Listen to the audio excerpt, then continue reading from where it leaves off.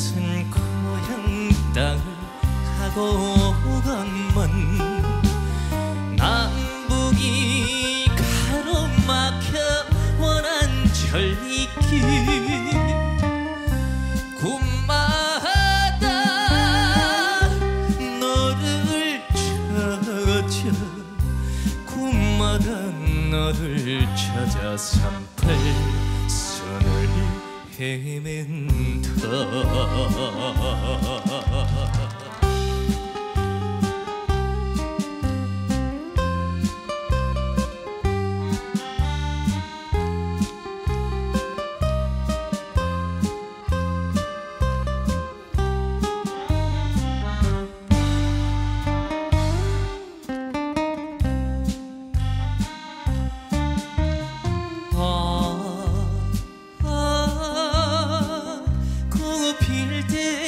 때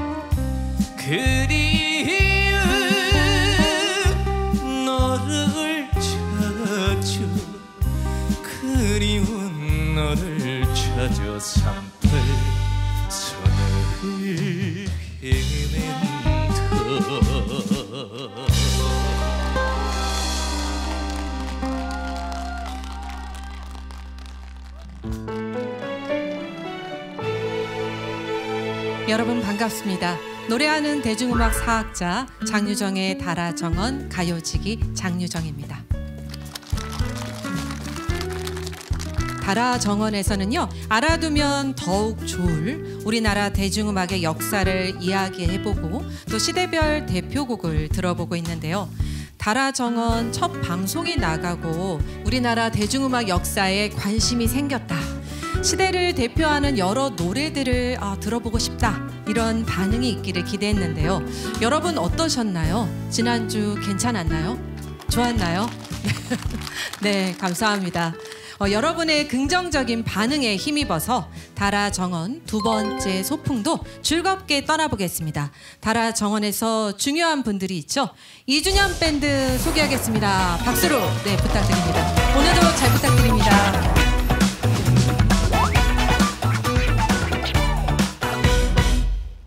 옛 선율에 아름다운 목소리를 더해주고 있는 우리 다라지기들 양지원, 박민주, 한강 씨입니다. 안녕하세요. 트로트 1급수 가수 한강입니다. 네, 안녕하세요. 가수 박민주입니다. 반갑습니다. 네, 지난주에 이어서 인사드립니다. 트로트 프린스 양지원입니다. 반갑습니다. 오늘의 첫 곡은요, 바로 트롯 프린스 양지원 씨가 들려주셨는데요. 네, 1948년에 발매된 남인수의 가거라 38선이라는 노래였는데요. 당시에도 굉장히 인기를 끌었던 히트곡이기도 합니다. 네, 맞습니다. 가거라 38선이 발표되었던 1948년이면요. 조선이 일본으로부터 독립한 해방한 이유죠.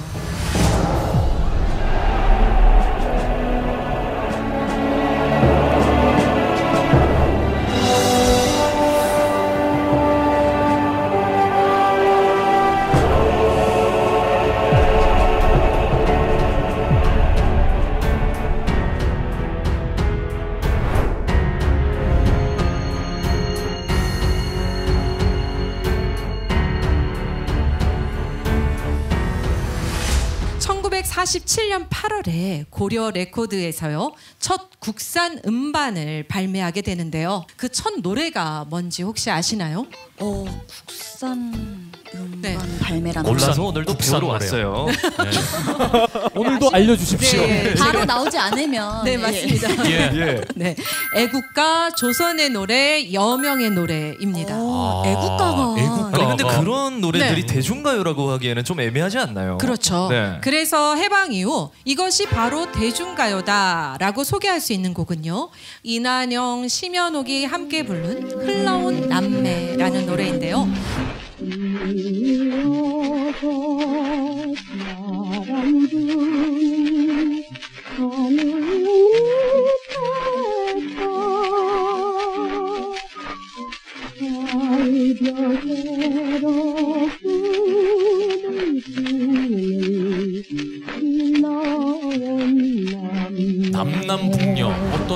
분단 네, 분단의 느낌이 네.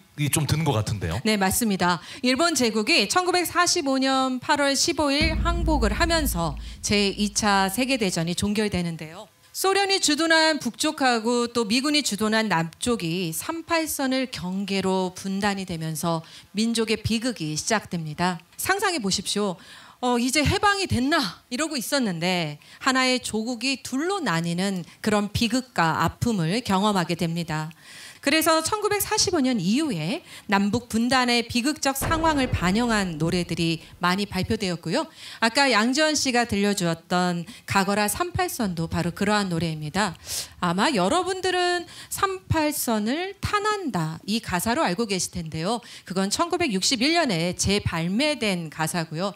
방금 양지원 씨가 불러줬던 38선을 헤맨다가 가장 처음에 1948년에 나왔던 그 가사 그대로입니다. 아니 저도 노래를 부르는데 어, 노래 가사가 좀 달라서 당황을 했었는데 네. 이 가사가 조금 더 마음에 와닿는 것 같아요. 네. 헤맨다와 탄한다 그 차이긴 하지만요. 네.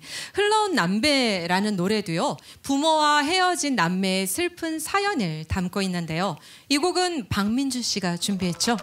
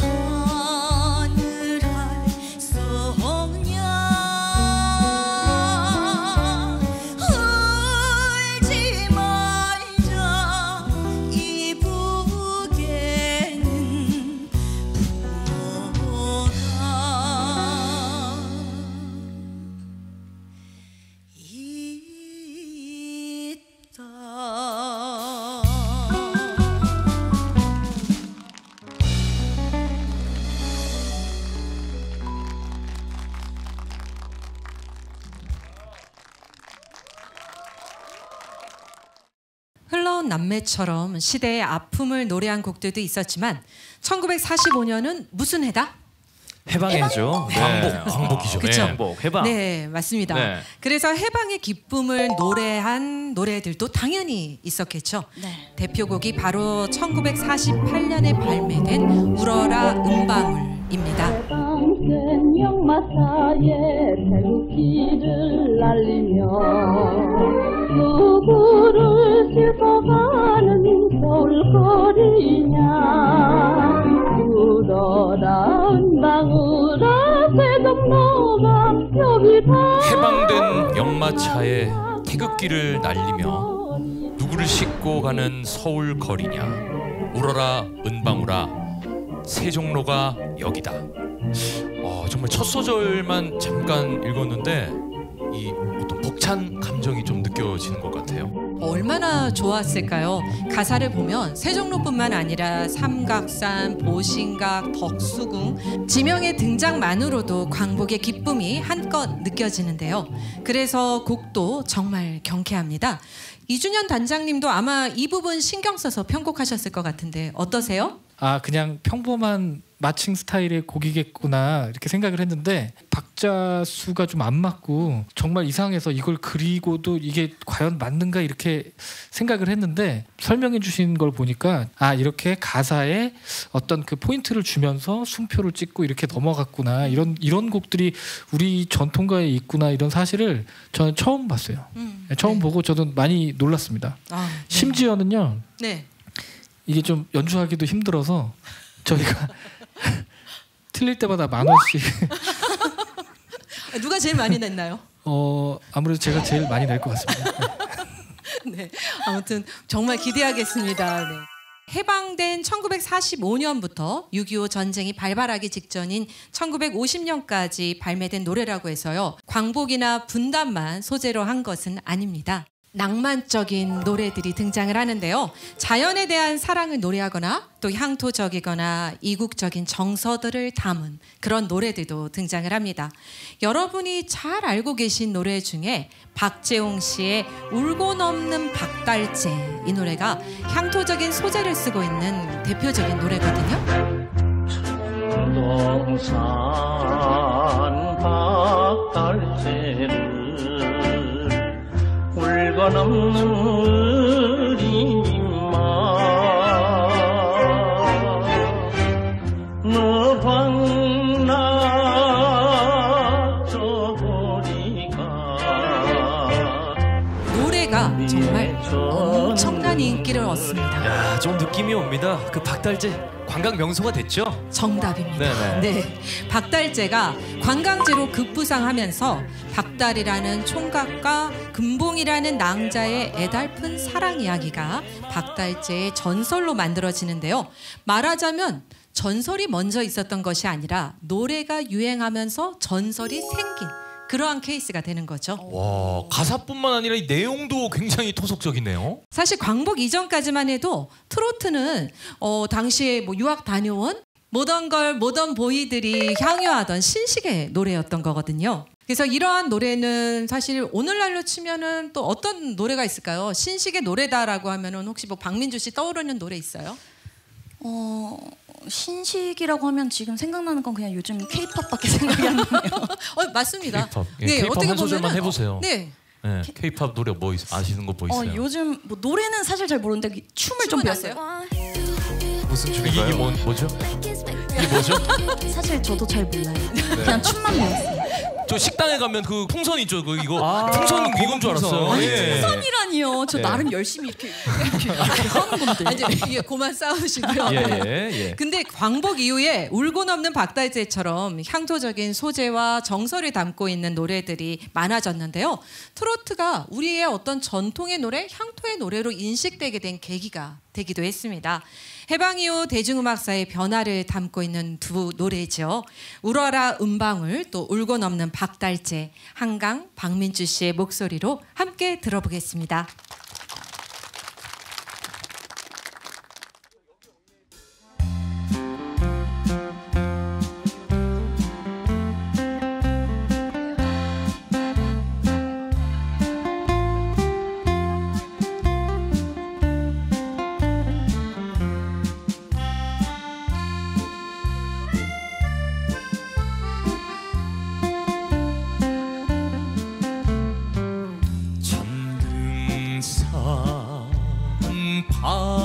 달채를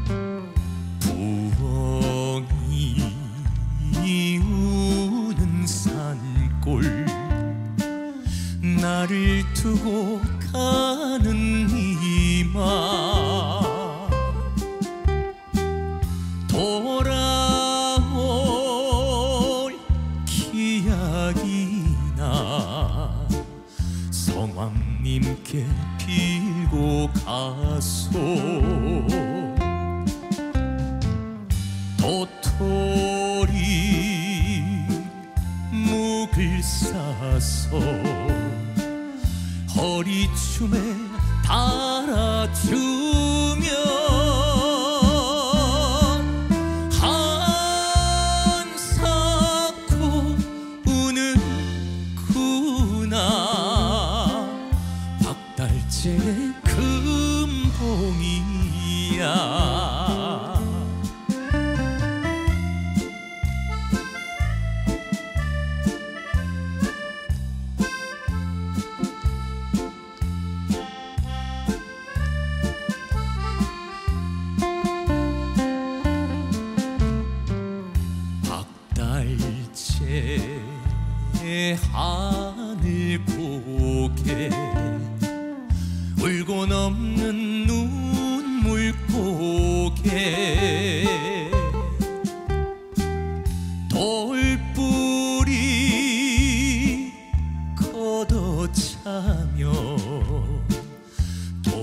서는 이별길아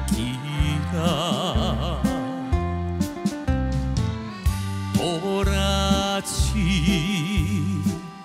꽃이 피는 고개마다 굽이 많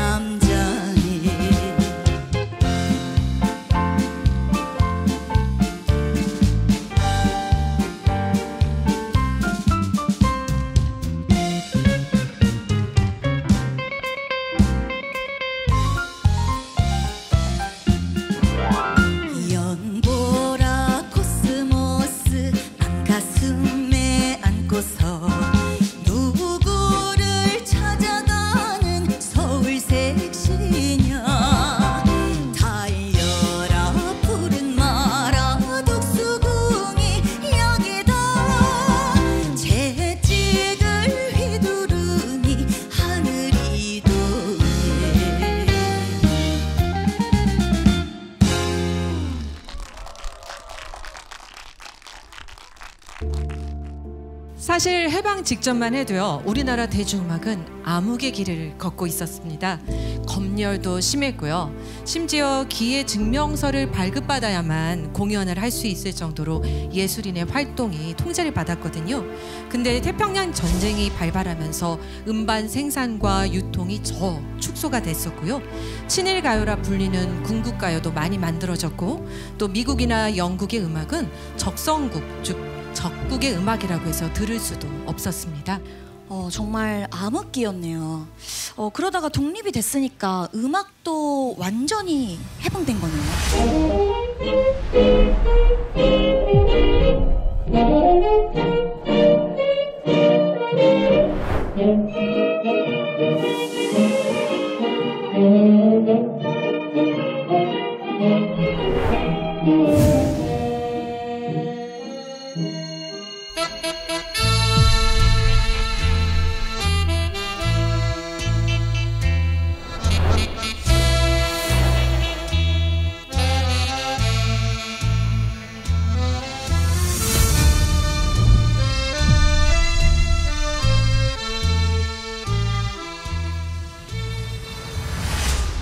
활발하게 부흥하던 대중음악계는요 6.25 전쟁을 만나면서 다시 한번 시련을 겪게 됩니다.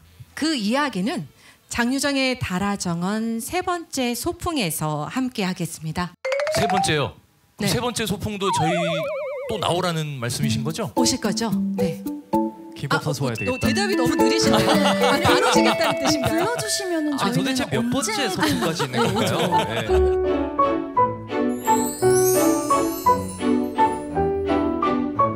장유정의 달아 정원 두 번째 소풍 1945년 해방부터 6.25 전쟁 직전인 1950년대까지의 노래를 들어봤는데요.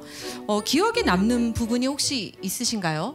그 울고 넘는 박달재가 정말 그 가사로만 봤을 때는 정말 슬프게만 받아들였었는데 이별하는 장면을 보고 가사를 지었다는 것 자체가 어, 조금 어, 재밌기도 하면서 어허 이렇게도 또 생각을 할 수가 있겠구나 좀 이런 생각이 좀 들었습니다. 저 같은 경우에는 아 이런 분들이 활동을 해주시지 않으셨다면 지금 저희들이 설 무대가 없었겠구나라는 네. 생각이 들면서 감사한 마음으로 앞으로 노래해야 되겠다는 생각이 들었습니다. 시대가 점점 올라오면서 음악도 점점 이 발전이 되어 간다는 느낌. 이 우리나라 사람들의 얼이 점점 이 음악 속에 이렇게 스며들어 간다는 느낌을 점점 받아가면서 네. 어, 점점 공부가 재밌어져 가는 느낌이 듭니다. 네, 감사합니다. 오늘 마지막 곡은 해방 이후 수많은 히트곡을 쓴 유호 작사가의 노래 중에 현인의 비 내리는 고모령을 준비했습니다. 어머님의 손을 놓고 돌아왔을 때엔